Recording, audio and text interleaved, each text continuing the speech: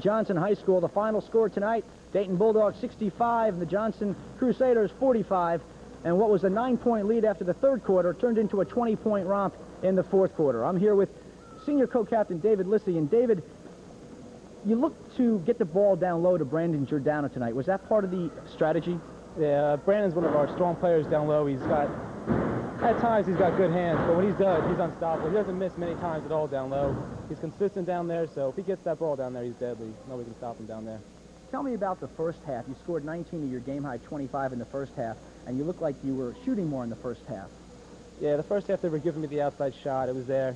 Second half they put more pressure on. We saw that the down low game was there, so we went to that, and that looked like it was the best part. Of the, that that's a, was the turning part of the game. When we went down low, we just started to dominate down there.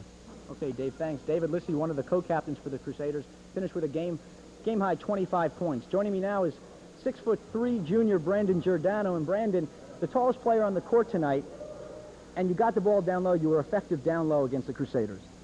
Well, uh, most of the year we've been trying to get down low, but uh, I've been getting most of my shots off the, off the rebound. And this has been a good game. I get most of the points on the rebound off the down low. So. How important was this win tonight for the Bulldogs, coming off the two-game winning streak last week against Millburn and Roselle Catholic, and as state playoff comes uh, up in the end of January, how important was beating Johnson tonight? The coach said, he said it was important. He said this whole week is important since uh, states are coming up. So we were just trying to play hard so we can get to states. What the coach said. Okay. Brandon Giordano, just a junior. He has another year on the Dayton Bulldogs. He finished with 20 points tonight. Let me bring in your coach, Ray Yanchus. And, Coach, an important win against the Johnson Crusaders tonight. Very important for us. We're six and four now. It's going to give us a shot at qualifying for the states. We need two more victories, and we have five games left. So it gives us a good uh, percentage to work with, and we're looking forward to more competition in the Mountain Valley Conference. Talk to me about the fourth quarter. It was a 49-40 game after the third quarter, and that turned into a 20-point rout as the game ended. What changes did you make in your offense uh, to open the game up like that? Well, not really offense. We just pulled our press off because we were getting beat down court and we thought we got a little tired. So we try to control the ball more and just penetrate and pass and get some easier shots than uh, just giving away points on trying to go too fast. I think we were pressing a little on offense, so slow it down, take the pressure off, rest the guys on defense a little more than what they were doing. Well, now that you've turned the corner and we head toward the midpoint of the season and on a three-game winning streak, how far can this Bulldog team go this year? Well, we're still working with a lot of different situations of inexperience. We didn't have too many seniors uh, who had played a lot. We've now moved a junior into the lineup, Giordano. We've moved Presmirsky into the lineup, a sophomore. And just this week we came up with a freshman in the lineup, Andy Huber. So it's going to, how fast they develop and how they can handle the pressure is going to be the story for us. Okay, Coach, thank you very much. Nice win tonight.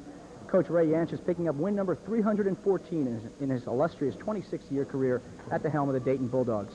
Coach, I guess we got what we expected tonight. Johnson couldn't control the boards, and they fell behind early.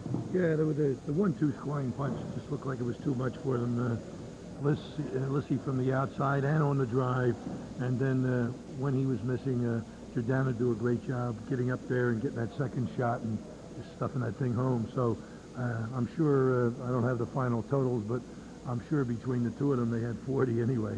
About 45, I think. Okay. What, what does the Johnson Crusaders now, 1 and 9 on an eight-game losing streak, what can they do to turn this season around and hopefully maybe go 500 the rest of the way? Well, they didn't play that badly. Uh, you know, I thought they played well. Uh, they just got to keep plugging with it and get the monkey off your back. They get a win. Uh, maybe the confidence will grow a little bit. Uh, they didn't play badly at all tonight. They, it was 20 points before you knew it. Okay, thanks. That'll wrap it up here from Johnson High School. An important Mountain Valley Conference win tonight for the Dayton Bulldogs, 65 to 45 over the Johnson Crusaders. For the coach Ed Lyons and our crew here at TV3, thanks for joining us. Good night.